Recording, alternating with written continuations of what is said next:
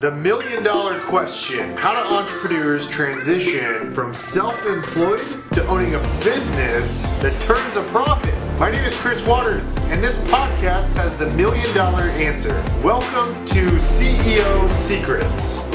Hey guys, it's your host, Chris Watters of CEO Secrets. I'm extremely excited to have a pretty incredible guest on the show today out of uh, California. He is a was started off as a real estate agent, became a top producing agent, built a Sotheby's office, and then ultimately became one of the most successful Keller Williams franchise owners or regional partners. What, franchise owner. Franchise so, owners. Yeah. So you are you're, you're helping KW take over Beverly Hills, Hollywood, that general area. Is that right?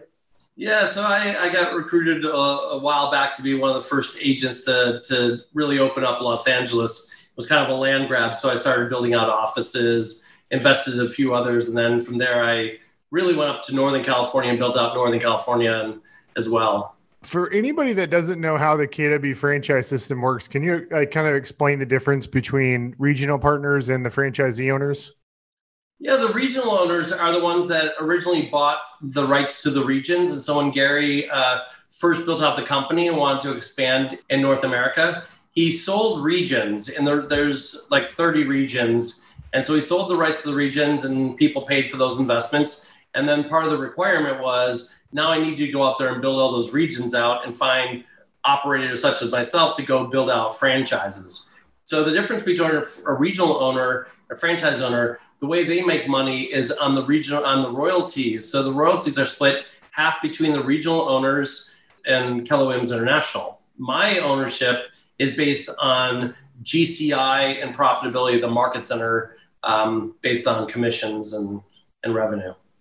You know, I was looking on the KW website. I think they list publicly the average franchisee makes, I think, was like 180, 190, 200,000. Does that sound about right? That's uh, that wouldn't that wouldn't surprise me on average. Which again, if I owned a McDonald's franchise, I'd expect it to be somewhere in the fifty thousand dollar range, right? So very different, very different models, but but yeah, like yeah, um, that's probably in their franchise disclosure. Cool. Well, Rick, I uh, I want to take like ten steps back because I kind of like dug right into it as I uh, went into your intro. But um, to you know, get, share with the audience uh, more about your career and what you've done, and I, I want to know more about you personally. Well, I you know I my undergraduate degree, so I I was a landscape architect by trade and was licensed in the state of California. And having done that, I was like, I, I, didn't see that as the right path for me, even though I was really excelling at an early age. So I decided to go back to my MBA. And that's where I really decided that like business and real estate was where I really was going to be happy. So as soon as I got out of MBA school, I literally went back and um, and started my real estate career, and it's just exploded since there. So I consider myself more of an entrepreneur. The real estate was my way of I saw I saw an industry that I thought that I could go in and take market share pretty quickly and build a reputation. And I thought that the industry itself was at, already at a point of evolution. It's just magnified at this point. And I and I realized that it could be the conduit for me to build a really big business. And so the reason for the attraction to Keller Williams, and so the company before Keller Williams was later after I'd already left had sold to Sotheby's. So it was uh, it was a local high end boutique um, that I was one of seven agents that started the Beverly Hills location that then later sold to to Sotheby's. Man, I I wish we had y'all sales prices down here, and as you might know, I'm down in Austin, Texas. And I'm very yeah. jealous of those big big uh, sales prices you guys have in Beverly Hills. Yeah, it's pretty astounding. Yeah, we're we're, sell- we're selling dirt for four million for a, you know for less than a 10,000 square foot lot. Wow, that's wild. It seems like I mean in in that area with the commissions being so high, I mean you can make a lot of money as an agent, probably more than like a franchise franchisee owner. Oh, completely. I can make so much money money in the brokerage business being an agent than I can being what I'm doing. But for me, it's always been a path to something different. So I, you know, I'm inspired by helping people to succeed at high levels. And I really have, uh, you know, from an early age, I've always built businesses. I was I was that kid who was 10 years old swapping, you know, pencils for five cents and make a penny on each, right? Like I'm that kid that like I always figure out like how to rub two nickels together and make a couple cents. So Yeah. it's just it's just my DNA. And um, as much as I love selling houses and things like that, the reality is like I knew that I could impact more people by owning the businesses and really having a lot of agents and really making a difference in this industry. Again, I thought the industry, the level of standard isn't at the level it needs to be. And I always thought that this industry needed to needed to be better. And so How many, how many franchise locations do you have, Rick?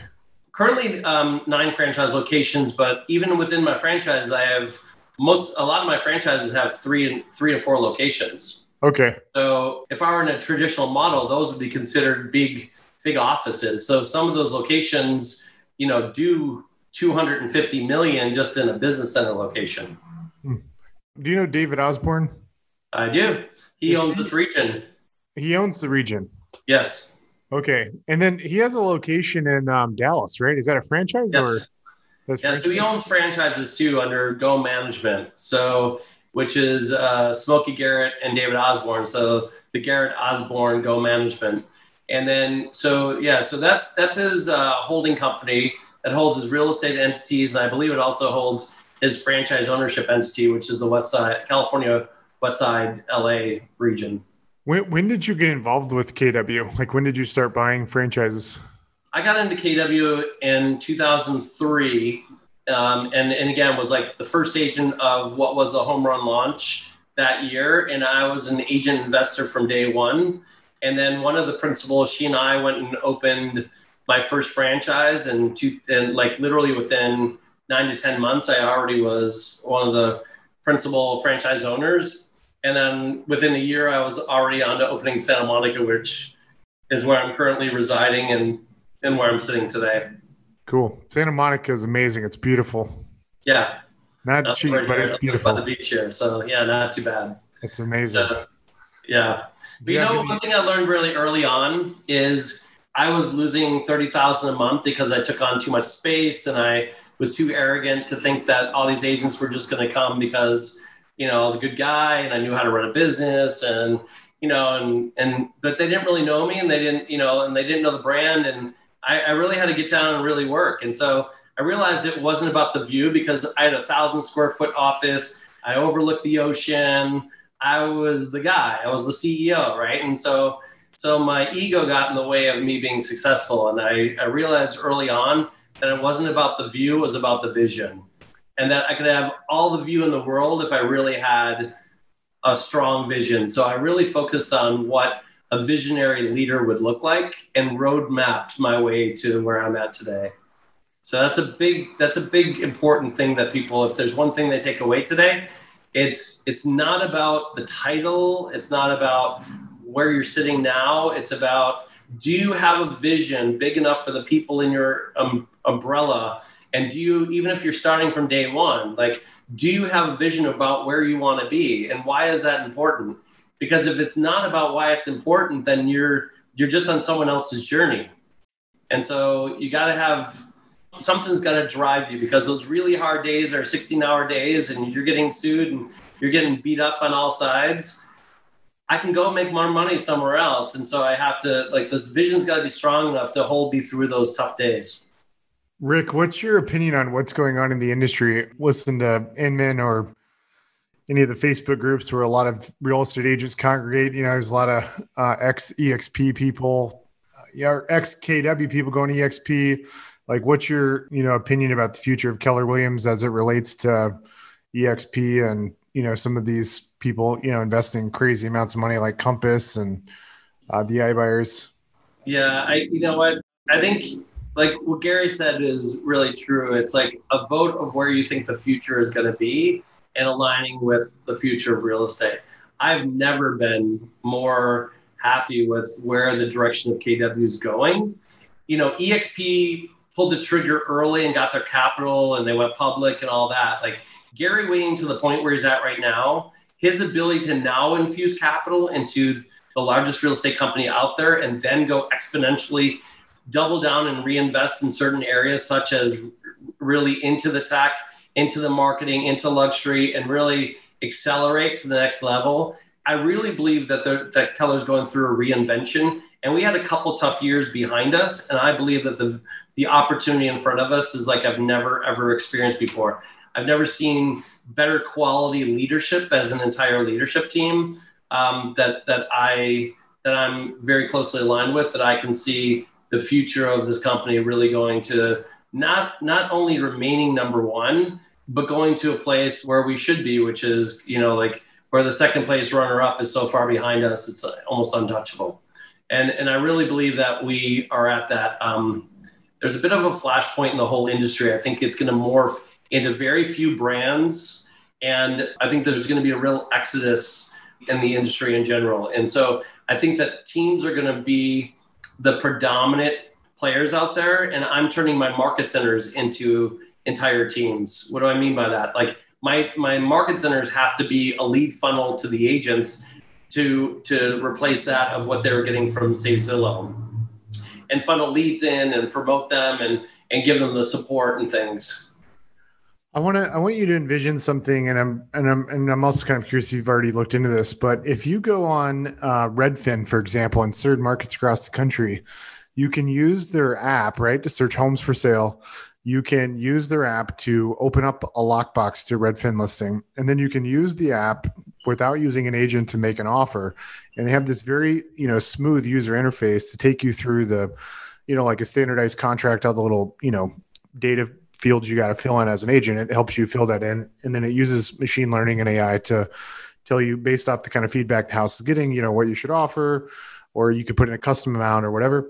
Like that's a pretty good mousetrap. How do you how do you see agents being able to, or KW or EXP or any of these people being able to compete with that? Because, for example, Zillow and Redfin have so much mind share of the consumer. And if they build a very intuitive process to get the consumer in the house and submit an offer, and then, for example, have like centralized, you know, market experts taking calls like a legalzoom.com, you know, you could really get a lot of efficiency out of um, what they're doing. What, what's your opinion of that? Have you looked into that? Have you seen what they're doing? I, I think it's a brilliant mousetrap, and yet they've got the eyeballs in the front end. But when it comes down to actually wanting to pull the trigger and put an offer in, they want a local real estate expert who knows the nuances of of what's happening in the areas, that knows the schools, and it, you can look at all the data in the world. And at the end of the day, you gotta you gotta know what that house does and and and,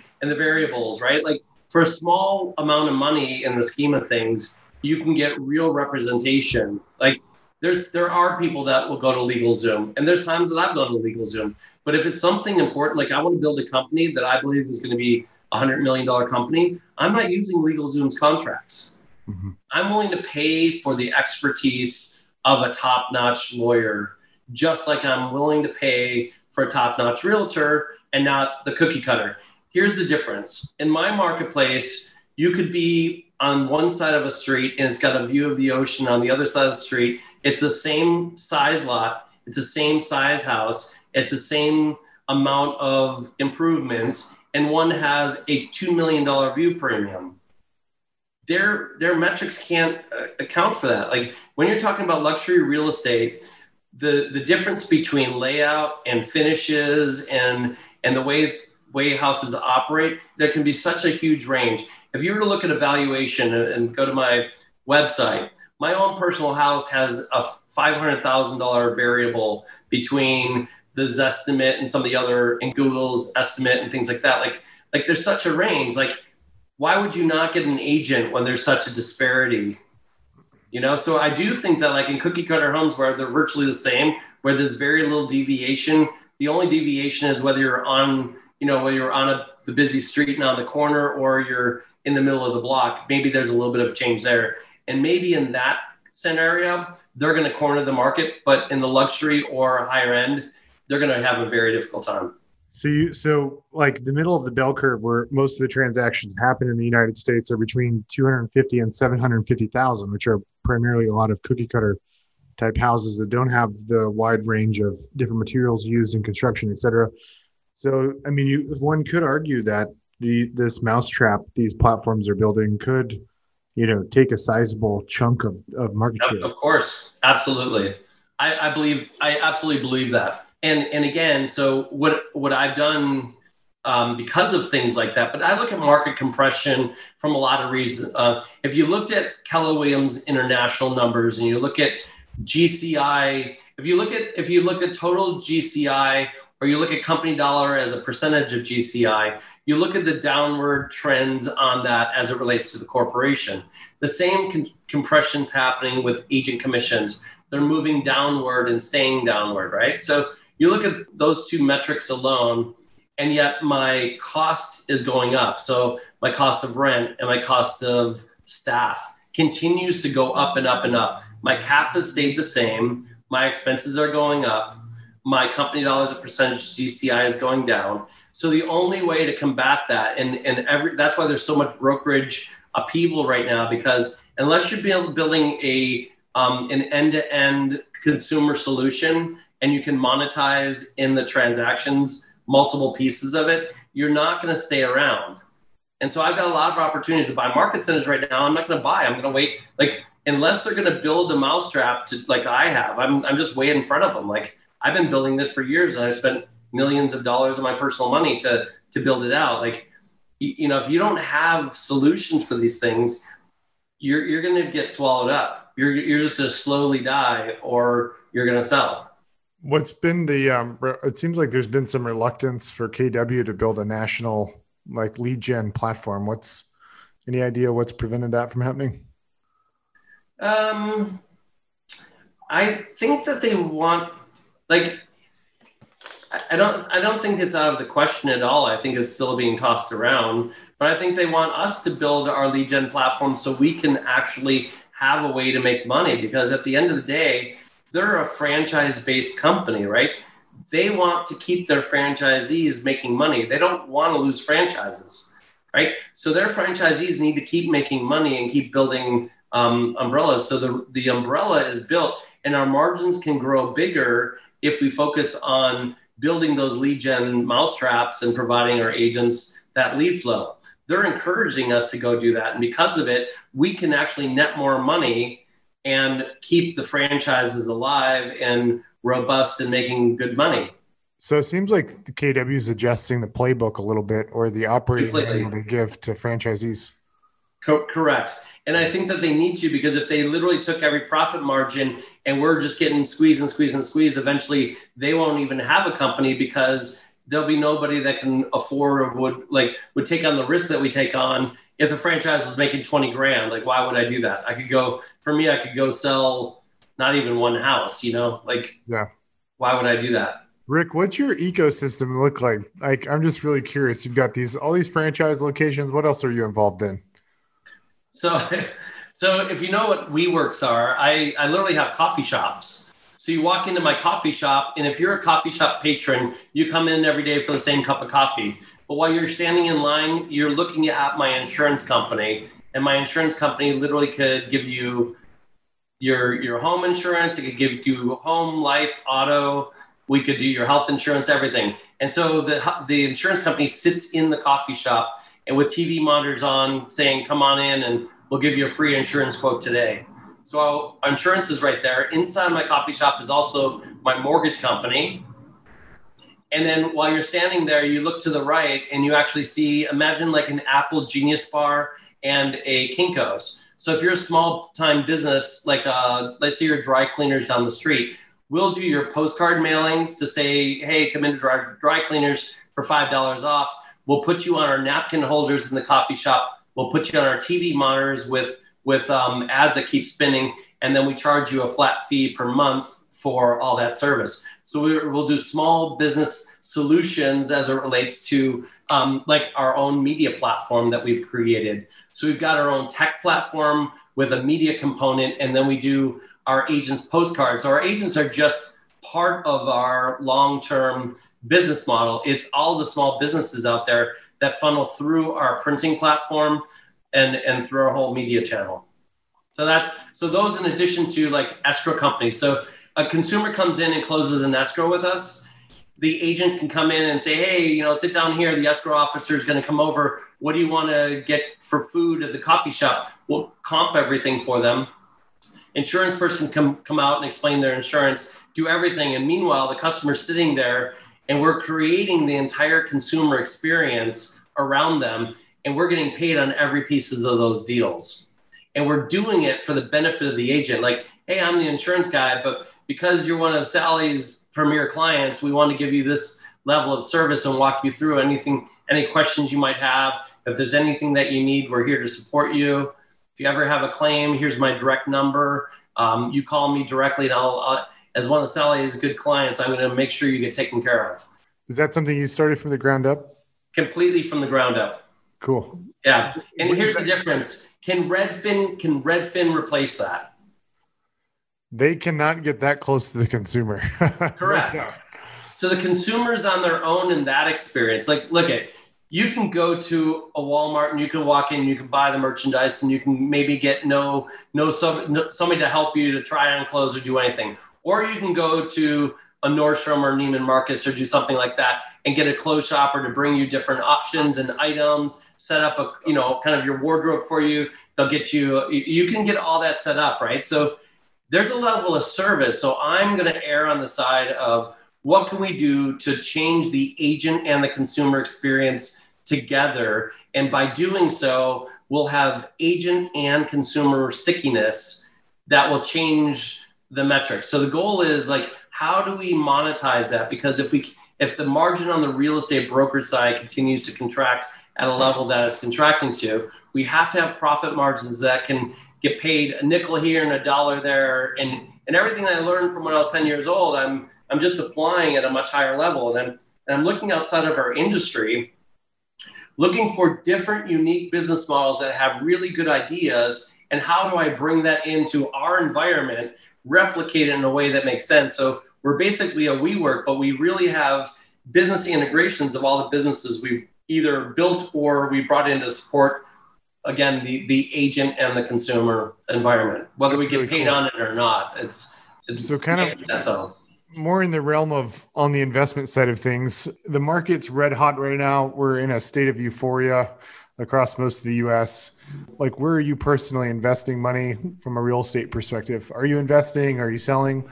Um, where are you at on the investment side? To be honest, I'm I'm investing. So I, I do have real estate holdings, and my my real estate holdings have done really well for me. But the reality is, I take my money and and for every dollar I make, I spend two dollars on doubling down and investing in continued business growth. So I've got a business plan that has multiple um, additional companies coming on, like syndications and DSTs and all these other things that will be added onto the platform. Because as we build out these businesses that we already have, we can keep adding on new ventures that just add more money. Because I can go buy a, an apartment building and that's more of a passive you know, long-term hold situation. But when I invest money into a business, I'm actually feeding six or seven businesses, not one.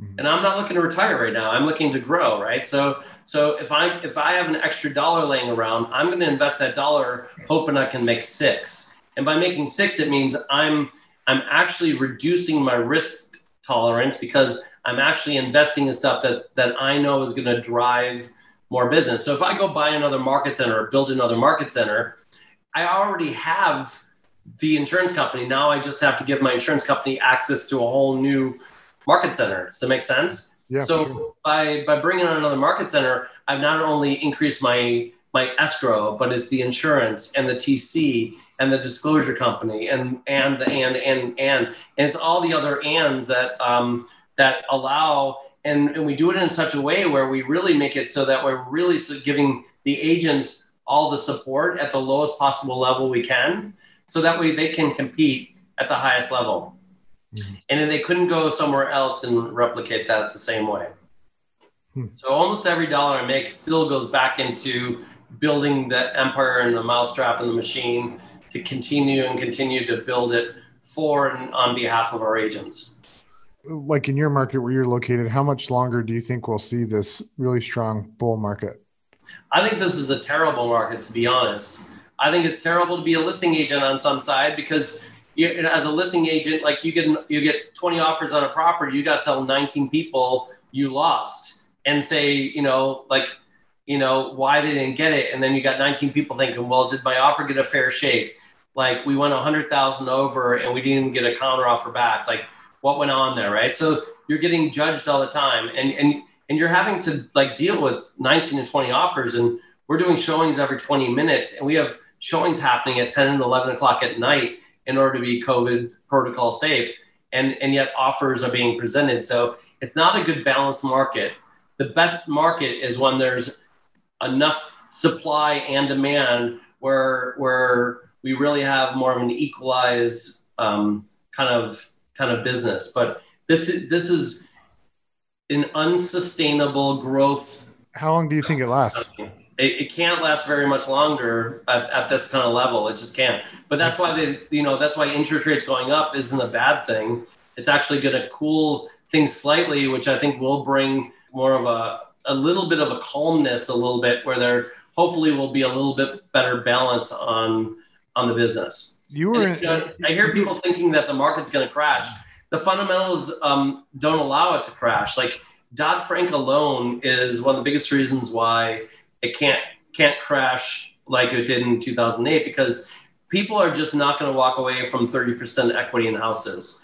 And so many people have owned their house for a while now. They've they've had to put 20% down, and the market's gone up so much they got another 10% of equity. So how many people are going to walk away from that percentage of equity?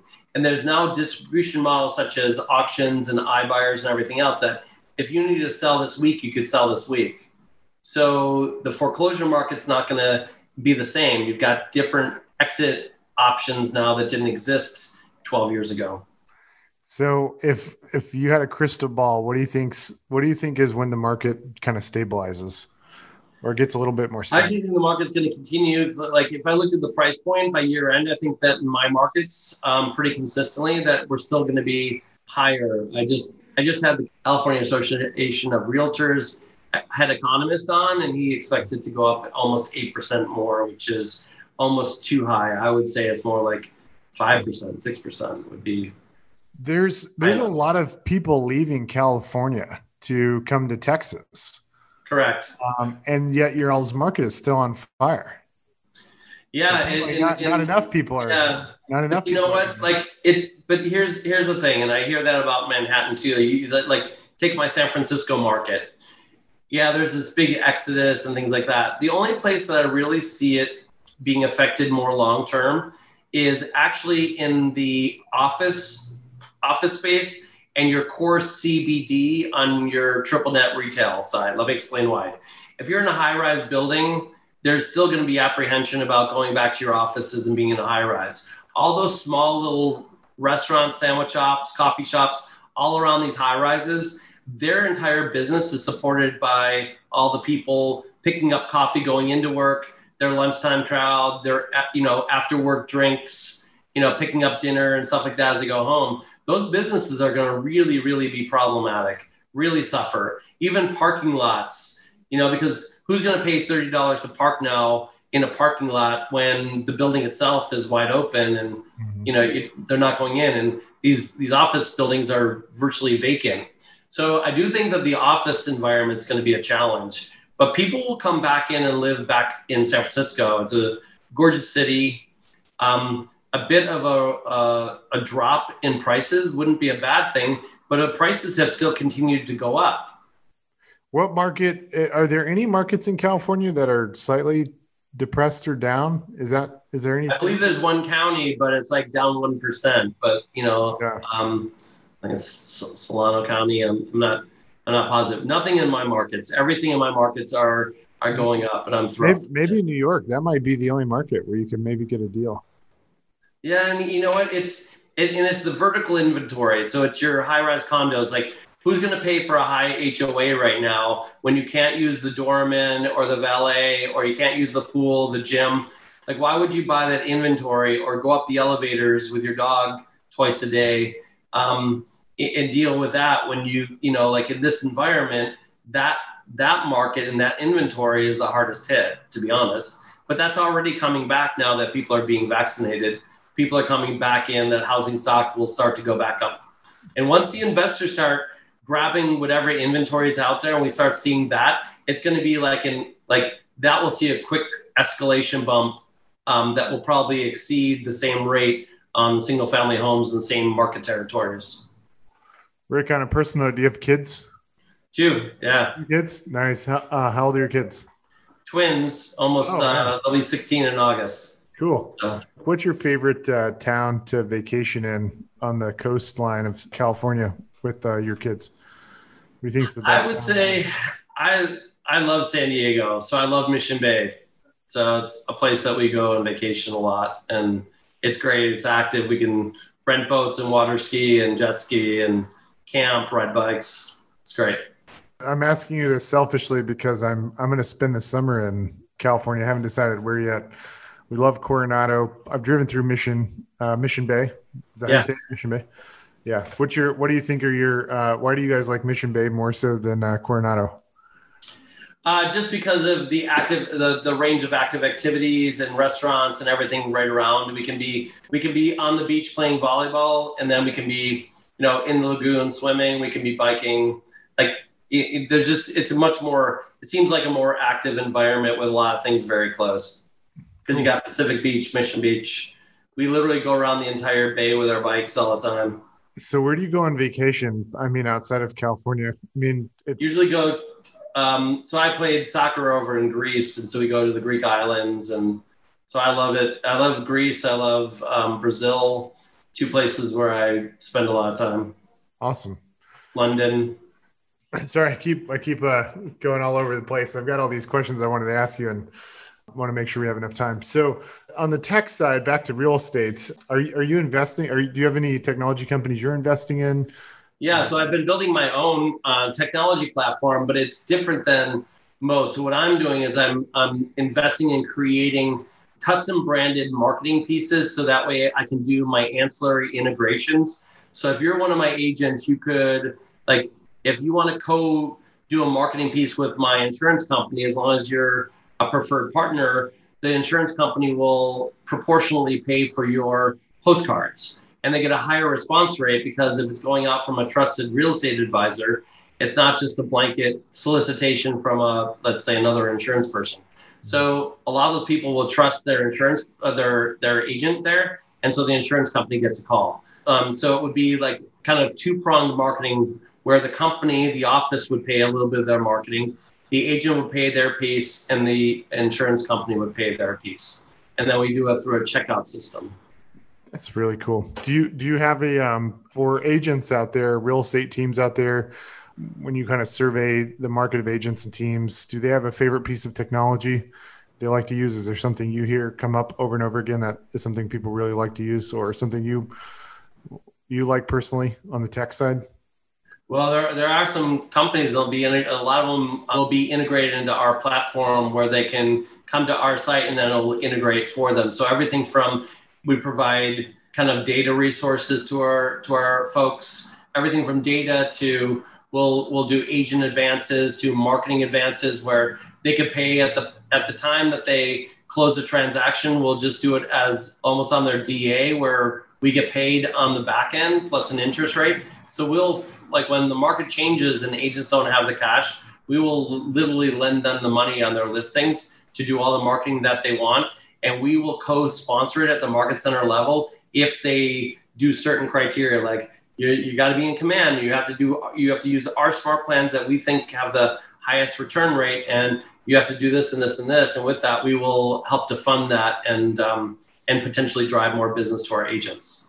So we're trying to like make this as streamlined and do it through like I, i'm a very analytical guy so i look at like if we do stuff, we'll model out three different ways of doing it, and then we'll see which one works the best, and that will be our prototype that we will will be our primary requirement. Like use this smart plan for this kind of contact, and then we so we'll prescribe all that, and then by the way, we'll we'll help pay for it. You just pay a small interest rate on the back end.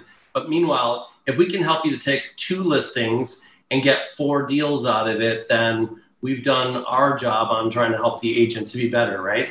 Most of the agents are living hand to mouth, and by the time that they have the money in their bank account, that listing's already gone. They have lost the opportunity to really market it appropriately. The best time to market the listings on the front end to get two more listings than to wait till they get the cash to market it after the close. Right. That's uh, that's really cool. That's a great idea. Well, what are you going to do with splits for your market centers? Like the splits when you give out the leads. Like if you guys are spending money on lead gen, what are you going to? Yeah. So our goal is to really, um, really turn on our lead gen system and then funnel the leads to the agents. And it wouldn't count toward their cap, but they can opt into the program to get lead funnels as long as they again follow the model that we're telling them to follow. Just if you just follow this, we believe that you'll not only convert this lead, but hopefully get more business behind it. We're only looking to get the referral on the first lead. Hopefully, we can then help them take one lead and again convert that into four deals. So, are you going to charge like a referral fee? It's like, hey, if we give you leads, five percent or thirty five percent. Yeah, but I'll do like a twenty five percent referral. But if they leave the company, then we'll get we'll get ten percent back for the previous twelve months, whatever they've closed. Instead of so we'll give them at a discounted price versus thirty five percent. But if they leave, then we get that 10% on everything closed. Are a lot of KW Market Center owners doing this, like pivoting to generating leads for their agents? The top ones are all kind of doing it. So I'm masterminding with different people around the country. And, and yes, we're trying to build the mousetraps right now. So because I've got so many businesses, I'm trying to figure out how we, how do we centralize it and then create economies of scale and then start building it and driving the lead flow outward. You know, I, as I like think about the real estate landscape, you know, there's been some of these, you know, tech, quasi tech brokerages, if you want to call them that, like Compass and Rex and a few of the others that have popped up. There haven't been any like big brands pop up, like franchise brands. Would you agree with that? Like in the last 10, 15 years? The, the biggest one that's kind of trying to pop out in metropolitan areas is like a Corcoran group. Okay. So Corcoran falls under the same uh, Realogy brand, right. and so it's just another yeah variation of that brand. I guess yeah, that's the only one I can think of. There aren't any really like in the last 15 years. There haven't been a lot of like new franchisees pop franchisors pop up. Yeah, it's it, I, I don't see that being um, you know not that it's it's going to be difficult to do that. Like part of it is, and the reason why you're seeing more tech is tech valuations will get a higher multiple than real estate. Compass, to be fair, they want to say that they're tech. They're really they're they're they're a real estate company with a little bit of a tech component. But the reality is, like the fact that they went out and bought Contactually tells you that they couldn't they couldn't even get their CRM to really work well, and so they had to go buy something. So it you know that was a smart acquisition, but it just it just verifies that they weren't really a tech company to to begin with, in my opinion. And they're yet they understood that getting a tech multiple would be the best way for them to get an exit strategy that could get them the highest multiple on the market. So it made sense for them to position themselves that, and they just kept telling that story enough times to enough people, so they started to believe it themselves, even though it's really not a tech company. Yeah, it's not. Is Redfin? Redfin's a tech company. Redfin's a tech company with real estate enabled, and the reality is, is Compass is really real estate company with a little bit of a tech add-on feature.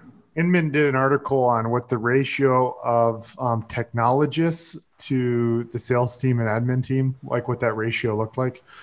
And um, what you just said is exactly what the article, you know, the conclusion was uh, Zillow and, and Redfin are legitimate technology companies, but the others, you know, they have very, the ratio of technologists to sales and admin is like you know the complete opposite of Zillow and Redfin. Well, and, and your your R and D credits, you can like from a tax basis perspective, like if you were profitable, they they weren't even profitable. It was really an, insightful and not a surprise at all when when they really shared what like what was under the hood with Compass, right? Like you looked at their stock valuation, how much lower it was um, when they finally got to market, right? Like they were positioning between twenty three and twenty six dollars a share and then had to downgrade their stock value.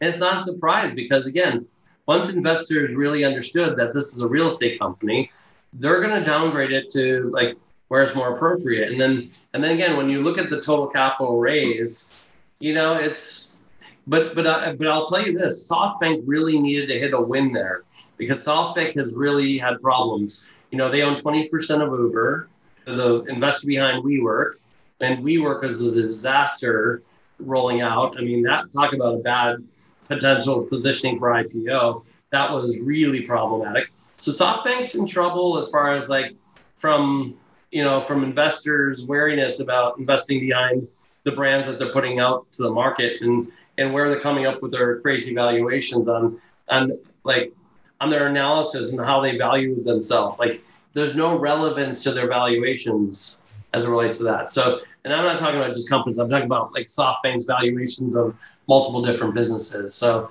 uh, again, I think they needed to they needed to have a win with Compass. Yeah. Uh, do you know Josh Team? Yes. You do. Where Where did he go? He left KW, I, right? I have no idea where he went. Um, who's the most successful regional partner in the KW system? I, you know, I don't, I don't, to be honest, I keep my head down so much. I'm so busy with my own businesses that I don't put my head up very often. But you are Um, the most successful KW franchisee, though, right? Well, no, no, I wouldn't say that. I would say there's a lot of really good, successful franchisees out there. I think that the, I think- my- I, I would just, I would say that like if, if if there's one thing that I do at a really high level, I'm very much an entrepreneur, business innovator. Like like I'm a problem solver. Like when I see a gap and someone says there's a problem, you know, I might complain for like all of five seconds, and I'm on to like, okay, there's a gap. How do I monetize this? And I'm going to build a company that's going to fill in the gap. Because if I'm having that problem, somebody else is, and how do I make that happen? And I've done that repeatedly through my whole career, whether it's a staffing company that we sold, like that got to be a national staffing company, and I sold out of that. And yet it's all over the country with all different brokerages. And, you know, I like, I look at Keller Williams for me as people say, like, you could have your own independent. Why do you keep aligning and paying so much money in franchise royalties? I say, because Keller Williams for me is a distribution channel. And Gary taught me this early on. He's like, I need guys like you because you're a business innovator. You're going to challenge the status quo. You're going to make things better. I'm going to learn from people like you, and and you're going to use my platform to grow your own business. And in return, it's going to be mutual beneficial to both. And even when like he's got insurance, right? Even though I compete with him in certain spaces like insurance, he's okay with me competing in businesses that we even compete with. But but he says like and I understand that he's going to be soliciting my own agent for his own, you know, in, insurance opportunities, and he should. And I should have my own opportunity to grow and expand and do things and do things in a different integrated way. And doesn't mean like when he sees the kind of mousetraps I build and says this, oh, this is really creative. Maybe you know, maybe he buys parts of it. Like who knows? Like when I built my coffee shops, I went to him first and I said, "Here's my idea. This is the game plan. This is what I'm doing." I'm franchising this brand. I'm going to run it through all the real estate, and I believe it's the market of the future. And I want to call it KW Cafe, K A F E. Do I have your blessing to do that? Like, and so I took it to um, head of legal and things like that. They're like, well, we can't, we can't have you do that, but build it out. Let's see what you're doing. I love the concept and what you're doing. So I built out three different models: a standard model, a large scale model, and a, a micro model. And and and, and you know, it, it's just creating business business innovation for where I see the future, and I'm only put my money behind testing different models because, you know, I, I trust myself, and I'm willing to fail, and I'm willing to spend money failing, um, because I know that like, you know, I'll hit a grand slam here, and I'll hit a double there, and I'll I'll fail on a different business, and at the end of the day, it washes out, and I've done I've done fine. So, Rick, we got to sign out. I gotta, I gotta ask you one, one quick question before we go, and uh, maybe hopefully get something a little controversial out of you. What do you think will be the biggest surprise in the real estate industry? For example, maybe it's some company that raised a bunch of money and they declare they're going to shut down and fold. Like, what do you think is going to be the biggest shock and awe in the industry um, over the next, uh, you know, 12, 24 months?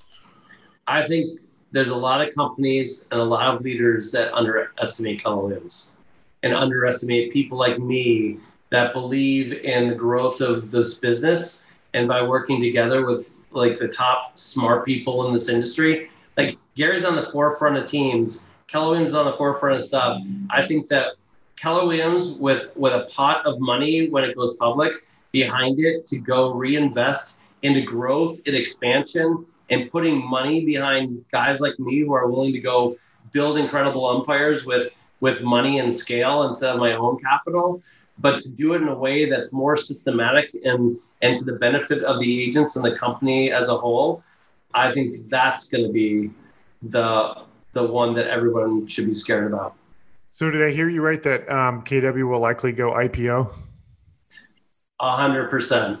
Yeah, cool. What's the timeline on that? Soon. Ah, nice. This is good. Sooner, sooner than I thought. I really um, believe like and I believe it's the right thing to do. And I, you know, and people are like, well, Gary said he would never sell. Like the market has changed and accessing capital and doing stuff now, like, like again, like an EXP went so early, like they're getting their wow time now. The reality is like Gary going IPO now when he's still the Goliath and going and do that and, and with a reinvention and kind of like, I don't want to say a rebrand because they don't like, it's, it's kind of a reinvented double down with capital investment, like real investment into tech acquisition and tech development, alongside improving the House of Excellence with the luxury division, really getting a strong commercial business really up and running and and having Keller X like really really grow in all the different capacities. There's a lot of revenue. So I what I've been building is no different than Gary. It's just he's on a totally different level. But again, me with infusion of cash is no different from Gary. Like I can go quadruple my businesses and my opportunities, create opportunities for the rock star leaders that are in, in, in my organization and really create that with very structured high systems and go do it. And then again, I, I see Gary working side by side with people like me and others that are willing to go work with him to go make this incredibly, incredibly successful in the future. It doesn't have to be my business or his businesses. His business can sit right alongside me and even compete, and we both can win. Yeah. We don't have to lose. We can both win. Man, I can't even imagine what kind of valuation KW would get if Compass is getting like what 10 billion or something. You know? I yeah, mean, but here's the difference. The multiple on KW, like their multiples are based not on GCI though. See, there's a difference. The the multiples in GCI are like more with the franchisees because his revenue from the from the brokerage side of it is from the royalties where the valuations of KW are coming are from the maps coaching from the events through your $25 a month contribution to the tech. Like the money coming in like the $500 KW connect the like because again when you got scale like he does you do $500 times whatever franchises have it part of their franchise agreements because not every market center has that in their franchise agreement as of yet. But but i will say like when you do the math on all the multiples you take a maps coaching and you think about how many maps coaches are out there and then that multiple times an x factor that's where the valuations are coming. And then you got keller mortgage and you got keller offers and you got you know all, all the different pieces of the the Keller X platform. But but here's the thing: their biggest valuation is going to come from the what they can develop with some capital into the true tech piece of the Keller X platform is where all the gold is at. That's where the gold is at. Because here's what I know about Keller Williams leadership. Like we are very loyal, committed. Like Gary tells us to read a book. That book, all he has to do is say it, and that book has got 300 purchases by the time he's done with that call, mm-hmm. right? Like he's got a loyal following. And because of that, if we can get the eyeballs of our consumers and our agents to use the products and the integration with Command, then that tech platform will be the highest valuation of the tech platform out there and and will far exceed anything that you've seen from a Zillow or a Redfin or something like that. It's the tech piece, not the real estate piece. And I really believe that he pivoted from being a a real estate company to saying, no, we got to be a tech company because of the valuation multiple.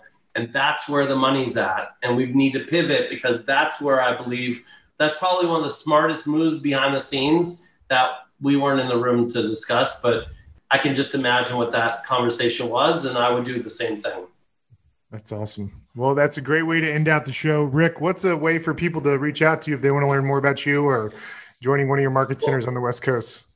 Well, um, CunninghamRE.com is our website. So cunninghamre.com. So if you want to send real estate um, deals to my team, my team is actively selling. So would love uh, would love to drive business to my team. And like our website company, that's an example of our luxury websites that are available for sale. but my yeah, for leadership, you know, people can join my calls. Like like on Monday, I run my team calls for all my offices. This Monday, I have the NFL quarterback that backup Tom Brady and just won the Super Bowl is my speaker this week to give you an idea of the level I try to bring value to my people. So awesome. you know, like stuff like that. So when I'm in uh when I'm on the West Coast this summer, we gotta we gotta connect and get together. For sure. Absolutely. Rick, thanks for being on the show. And um, I look forward to connecting with you again. Uh, guys, if this is your first time tuning into CEO Secrets, be sure to hit that subscribe button. You can always watch us on YouTube if you want to see us live. Um, we've also got our private Facebook group, Chris Watters Rainmaker Alliance. We'll publish this live. And uh, of course, on um, all the uh, typical places like iTunes and Spotify, et cetera. So uh, thanks for tuning in. Bye, everybody.